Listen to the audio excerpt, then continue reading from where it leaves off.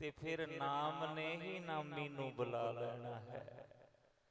ਵੱਡਾ ਸਾਹਿਬ ਉੱਚਾ ਥਾਓ ਉੱਚੇ ਉੱਪਰ। ਰੱਬ ਨਾਲੋਂ ਵੀ ਉੱਚੀ ਚੀਜ਼ ਹੈ ਕੋਈ। ਸਤਿਗੁਰੂ ਨਾਨਕ ਪਾਤਸ਼ਾਹ ਕਹਿੰਦੇ ਹੈਗੀ ਹੈ ਕਹਿੰਦੇ ਉਹ ਕੀ? ਕਹਿੰਦੇ ਰੱਬ ਨਾਲੋਂ ਵੀ ਉੱਚਾ ਰੱਬ ਦਾ ਨਾਮ ਹੈ। ਕਿਉਂਕਿ ਨਾਮ ਲਿਆ ਹੀ ਵਾਹਿਗੁਰੂ ਪ੍ਰਗਟ ਹੁੰਦਾ ਹੈ। ਉਹ ਭਾਵੇਂ ਅੰਦਰਲੇ ਮਨੋਂ ਲੈ ਲਓ। ਜ਼ਰੂਰੀ ਨਹੀਂ ਵੀ ਜ਼ੁਬਾਨ ਹੀ ਹਿੱਲੇ। ਆ ਆਵਾਜ਼ਾਂ ਮਾਰੇ। ਇਹ ਮਨ ਉਹਨੂੰ ਪੁਕਾਰੇ। ਸਤਿਗੁਰੂ ਕਹਿੰਦੇ ਆ ਨਾ ਪੰਜ ਬਿਖਾਦੀ ਏਕ ਗਰੀਬਾ। ਰਾਖੋ ਰਾਖਣ ਹਾਰੇ। ਖੇਦ ਕਰੇ ਅਰ ਬਹੁਤ ਸੰਤਾਵੇ। ਤਾਰੋ ਤਾਰਨ ਹਾਰੇ। ਕਹਿੰਦੇ ਇਹ ਪੰਜੇ ਸਤਾਉਂਦੇ ਬਹੁਤ ਆਪ ਹੀ ਛਡਾ ਲੋ ਮਹਾਰਾਜ। ਵੱਡ ਜੋਧਾ ਬਹੁ ਪਰਉਪਕਾਰੀ ਪਰਉਪਕਾਰ ਕਿੰਨਾ? ਇਹ ਤਾਂ ਸਿੱਖ ਕੌਮ ਦੇ ਵਿੱਚ ਵੱਧ ਹੈ। ਮੈਨੂੰ ਗੁਰੂ ਸਾਹਿਬ ਦੀ ਜੁਰੀ ਚ ਦਾਸ ਮੈਂ ਸ਼ਬਦ ਵਰਤਣਾ ਪੈਂਦਾ ਜਦੋਂ ਵਿਚਾਰ ਕਰਨੀ ਹੈ। ਪਰ ਅੰਦਰੋਂ ਤਸੱਲੀ ਹੈ। ਬੜਾ ਇਸ ਗੱਲ ਦਾ ਮਾਣ ਹੈ ਕਿ ਅਸੀਂ ਸਿੱਖ ਕੌਮ ਦੇ ਵਿੱਚ ਪੈਦਾ ਹੋਏ। ਇਹ ਸਿੱਖ ਇਹੋ ਜੀ ਜਮਾਤ ਹੈ। ਇਹਨਾਂ ਦੇ ਗੁਰੂਆਂ ਨੇ ਇਹਨਾਂ ਨੂੰ ਇਹ ਗੁੜਤੀ ਦਿੱਤੀ ਹੈ ਕਿ ਜਦੋਂ ਕਿਸੇ ਦੀ ਬਾਹ ਫੜ ਲੈਂਦੇ ਐ ਫਿਰ ਆਪਣਾ ਆਪ ਤਾਂ ਭਾਵੇਂ ਉੱਜੜ ਜੇ, ਪਰ ਜਿਹਦੀ ਬਾਹ ਫੜੀ ਐ ਇਹ ਉਹਦਾ ਵਾਲ ਨਹੀਂ ਵਿੰਗਾ ਹੋਣ ਦਿੰਦਾ। ਛੇਵੇਂ ਪਾਤਸ਼ਾਹ ਜਦੋਂ ਗਵਾਲੀਅਰ ਕਿਲੇ 'ਚ ਗਏ ਐ 52 ਰਾਜੇ ਸੰਗਲਾਂ ਨਾਲ ਬੰਨੇ ਹੋਏ ਸੀ, ਅੱਜ ਵੀ ਥਮਲੇ ਹੈਗੇ ਗਵਾਲੀਅਰ ਕਿਲੇ 'ਚ।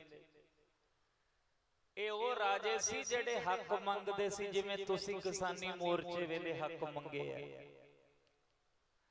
ਇਹ ਉਹ ਰਾਜੇ ਸੀ ਜਿਹੜੇ ਬਗਾਵਤ ਬਾਗੀ ਸੀ। ਦਿੱਲੀ ਦੀ ਹਕੂਮਤ ਦੇ। ਤੇ ਉਸ ਵੇਲੇ ਜਦੋਂ 6ਵੇਂ ਪਾਤਸ਼ਾਹ ਜਾਂਦੇ ਨੇ ਤੇ ਮਹਾਰਾਜ ਨੇ ਫਿਰ ਸਵੇਰੇ ਸ਼ਾਮ ਉੱਥੇ ਨਿਤਨੇਮ ਕਰਨਾ ਦੀਵਾਨ ਸਜਾਉਣੇ। ਤੇ ਫਿਰ ਇੱਧਰ ਜਹਾਂਗੀਰ ਢਿੱਲਾ ਹੋਇਆ ਬਿਮਾਰ ਹੋਇਆ। ਐਸਾ ਬਿਮਾਰ ਹੋਇਆ ਕਿਤੋਂ ਰਾਮ ਨਾ ਆਵੇ। ਤੇ ਕਹਿੰਦੇ ਫਿਰ ਸਾਈਂ ਮੀਆਂ ਮੀਰ ਨੂੰ ਬੁਲਾਇਆ ਜਿਹੜਿਆਂ ਨੇ ਨੀ ਰੱਖੀ ਸੀ ਦਰਬਾਰ ਸਾਹਿਬ ਦੀ।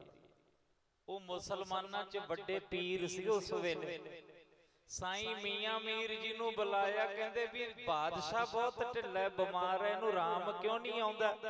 ਤੇ ਸਾਈਂ ਮੀਆਂ ਮੀਰ ਜੀ ਕਹਿੰਦੇ ਕਹਿੰਦੇ ਤੁਸੀਂ ਕਿਸੇ ਮਹਾਂਪੁਰਖ ਨੂੰ ਉਹ ਰੱਬ ਦੇ ਫਕੀਰ ਨੂੰ ਦੁੱਖ ਦੇ ਰਹੇ ਹੋ। ਚੇਤੇ ਕਰੋ ਕਿਸੇ ਨੂੰ ਬੰਦੀ ਤਾਂ ਨਹੀਂ ਬਣਾਇਆ ਦੁੱਖ ਤਾਂ ਨਹੀਂ ਦੇ ਰਹੇ। ਤੇ ਕਹਿੰਦੇ ਜਹਾਂਗੀਰ ਨੂੰ ਯਾਦ ਆਇਆ ਕਿ ਮੈਂ ਤਾਂ ਗੁਰੂ ਹਰਗੋਬਿੰਦ ਸਾਹਿਬ ਨੂੰ ਗਵਾਲੀਅਰ ਕਿਲੇ 'ਚ ਬੰਨ ਕੀਤਿਆਂ 6 ਮਹੀਨੇ ਹੋ ਗਏ। ਆਖੋ ਸਤਨਾਮ। ਤੇ ਸੰਗਤਾਂ ਕਿਲੇ ਦੀਆਂ ਕੰਧਾਂ ਨੂੰ ਮੱਥਾ ਟੇਕਦੀਆਂ ਰਹੀਆਂ ਕਿਲੇ ਦੀਆਂ ਕੰਧਾਂ ਨੂੰ ਨਮਸਕਾਰਾਂ ਕੀਤੀਆਂ, ਪੰਜਾਬ ਤੋਂ ਜਾ ਜਾ ਸੰਗਤ ਨੇ ਵੀ ਮੇਰੇ ਸਤਿਗੁਰੂ, ਇਹ ਚ ਹੈ ਕਿਤੇ ਪੰਜਵੇਂ ਪਾਤਸ਼ਾਹ ਵਾਲਾ ਹਾਲ ਨਾ ਕਰ ਰਹੇ ਮਹਾਰਾਜ ਨਾਲ।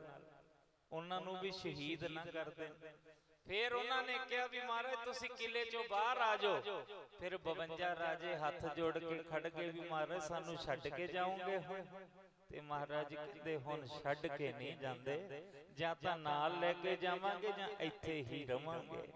ਤੇ ਫਿਰ ਮਹਾਰਾਜ ਨੇ ਲਿਖ ਕੇ ਭੇਜਿਆ ਜਹਾਂਗੀਰ ਅਸੀਂ ਉਹਨਾਂ ਚਿਰ ਬਾਹਰ ਨਹੀਂ ਆਉਂਦੇ ਜਿੰਨਾ ਚਿਰ ਇਹ ਰਾਜੇ ਰਿਹਾ ਨਹੀਂ ਹੁੰਦੇ। ਤੇ ਕਹਿੰਦੇ ਉਸ ਵੇਲੇ ਜਹਾਂਗੀਰ ਨੇ ਵੀ ਸ਼ਰਤ ਰੱਖਤੀ ਕਹਿੰਦੇ ਫਿਰ ਜਿੰਨੇ ਤੁਹਾਡੇ ਚੋਲੇ ਦੀਆਂ ਕਲੀਆਂ ਫੜ ਕੇ ਆ ਗਏ ਉਹਨਿਆਂ ਨੂੰ ਛਡਾ ਲਓ। ਤੇ ਪਤਾ ਕੀ ਹੋਇਆ? ਫਿਰ ਕਹਿੰਦੇ 6ਵੇਂ ਪਾਤਸ਼ਾਹ ਨੇ 52 ਕਲੀਆਂ ਵਾਲਾ ਚੋਲਾ ਬਣਾਇਆ 52 ਕਲੀਆਂ ਉਹਦੇ। ਦੂਰ ਦੂਰ ਤੱਕ ਲੜੀਆਂ ਸੀ। ਤੇ 52 ਕਲੀਆਂ ਤੋਂ 52 ਰਾਜੇ ਕੈਦ ਸੀ ਜਿਹੜੇ, ਉਹਨਾਂ ਨੂੰ ਇੱਕ ਇੱਕ ਕਲੀ ਫੜਾ ਕੇ ਸੱਚੇ ਪਾਤਸ਼ਾਹ ਨੇ ਪਰਉਪਕਾਰ ਕੀਤਾ। ਉਹਨਾਂ ਨੂੰ ਜ਼ਿੰਦਗੀ ਮਿਲ ਗਈ ਉਹ ਆਪਣੇ ਪਰਿਵਾਰਾਂ ਨੂੰ ਮਿਲ ਗਏ ਆਪਣੇ ਬੱਚਿਆਂ ਨੂੰ ਮਿਲ ਗਏ ਆਪਦੇ ਰਾਜ ਭਾਗ ਦਾ ਸੁੱਖ ਮਾਣਨ ਲੱਗੇ 52 ਰਾਜੇ ਕੈਦ ਤੋਂ ਛਡਾਏ ਮੇਰੇ ਸਤਿਗੁਰੂ ਨੇ। ਤਾਈਓ ਕਿਹਾ ਜਾਂਦਾ ਹੈ ਬੰਦੀ ਛੋੜ ਦਾਤਾ। ਕੀ ਕਹਿੰਦੇ ਆ? ਬੰਦੀ ਛੋੜ। ਇਹ ਹੈ ਮੇਰੇ ਸਤਿਗੁਰੂ ਦਾ ਘਰ ਜਿਹੜੇ ਬੰਧਨਾਂ ਤੋਂ ਛਡਾ ਸਕਦੇ ਆ।